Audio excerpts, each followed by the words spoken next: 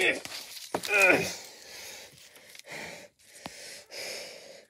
this time, I'll get revenge on Pablo again. Brenda's revenge again. And it's also known as, I mean, Brendon's return.